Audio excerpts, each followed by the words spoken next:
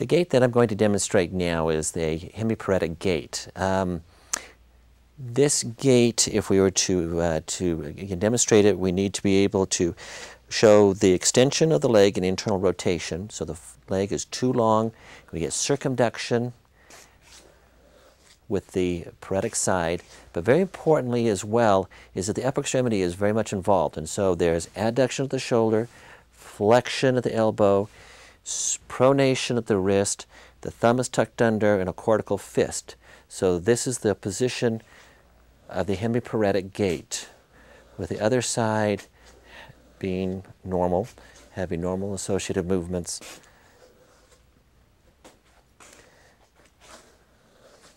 You can actually hear the pattern of the gait as well as we have circumduction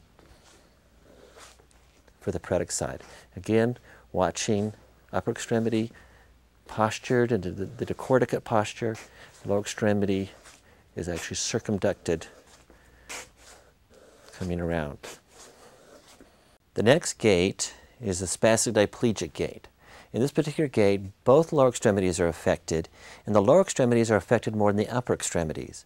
So the posture, the position in this particular gait is there's flexion at the hips, flexion at the knees, and the feet uh, or the ankles are extended and internally rotated, and this and the um, was also uh, tight adductors, so there's adduction at the knees. So it is a swinging gait with both sides, both lower extremities. You can hear a different pattern than the paretic gait. But this is not all. The upper extremities are also involved, again, not as much as the hemiparetic gait, but for the upper extremities, the extremity is carried in a, in a low guard or a mid guard position, and you don't have the normal associated movements in the upper extremity. So this would be the type of posture and type of position that one would see for the spastic diplegic.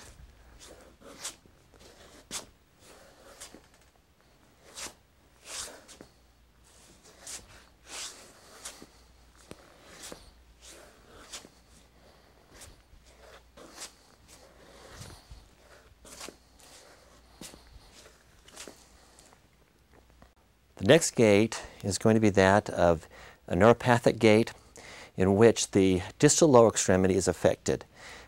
For this particular gait, the, uh, the person has the inability to dorsiflex the foot, and so the foot is actually a foot drop, and the person must step high in order to clear the foot. So if I don't step high enough, I'm going to drag the toe of the shoe, and so what um, happens is the person steps high to be able to clear the foot.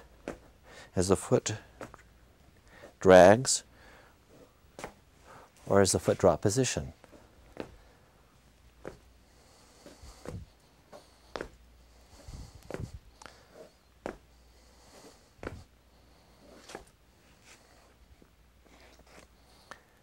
This gait is a myopathic gait.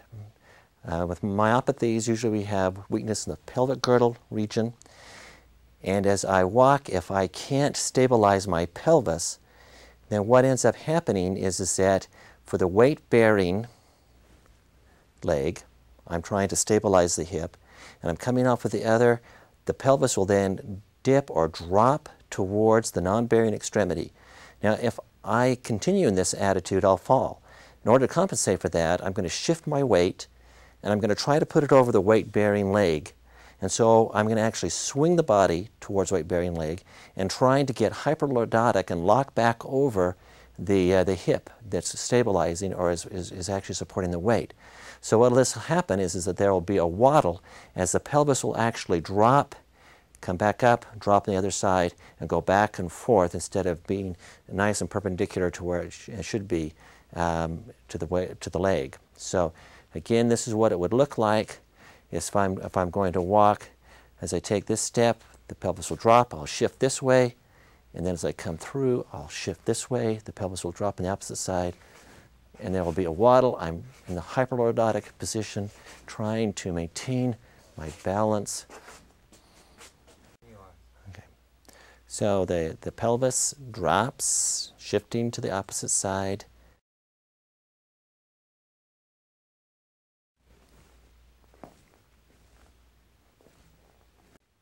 This gait is the gait that is a hypokinetic gait.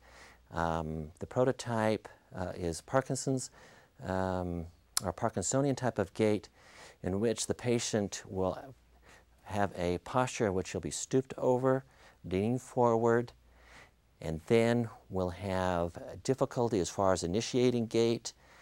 When the gait is initiated, there are small steps. Oftentimes there's a, there's a tremor associated with this. And as the gait progresses, there may be a picking up of speed or what's called a festinating gait. And then in turning, instead of having the normal turning, the patient will turn en bloc, which means they'll turn almost as a statue moving around. And then again having difficulty starting in the marche petit pas.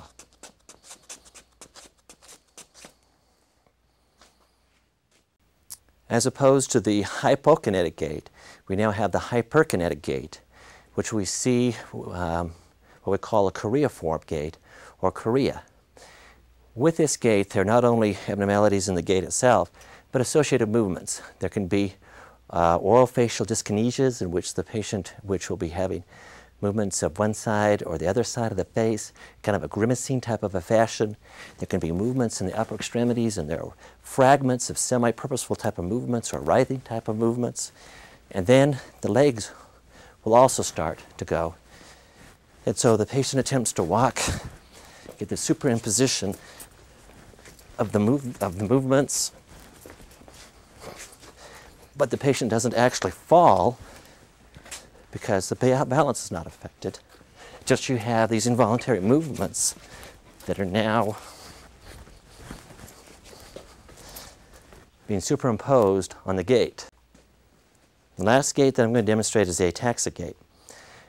In the ataxic gait, the patient has difficulty narrowing the station and maintaining balance. So typically they'll have a wide stance, is trying to maintain balance, and that there oftentimes will be uh, unsteadiness in the trunk. So there may be some truncal titubation, which is a anterior posterior to have a tremor at about 3 hertz. And there's also a tendency to, to lunge or to uh, jerk sideways, and the patient then has to catch themselves. Of course, one of the ways to bring out this particular type of problem is to narrow the station, asking the patient to walk tandem. So if I then am ataxic, I then try to walk tandem, then I'm going to have difficulty walking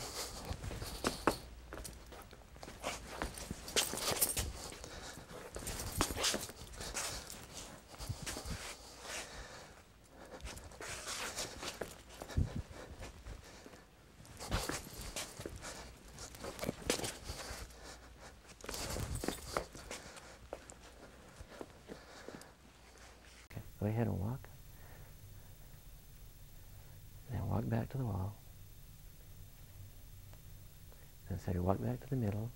And then walk over to the other side. Yeah, that side. There you go.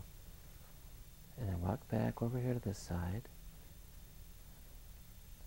And then walk back over to clear over the other side. And then walk back to the middle. And we're done. Good.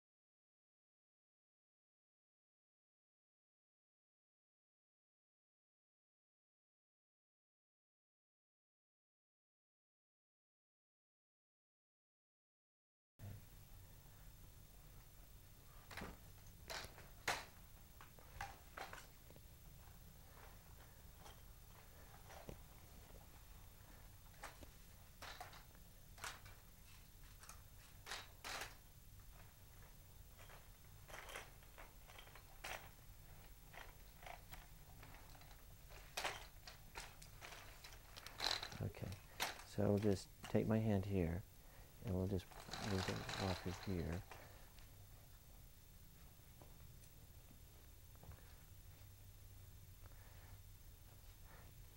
Okay, that's fine. You got your balance? Okay, that's right. That's fine. Let's go, let's go back.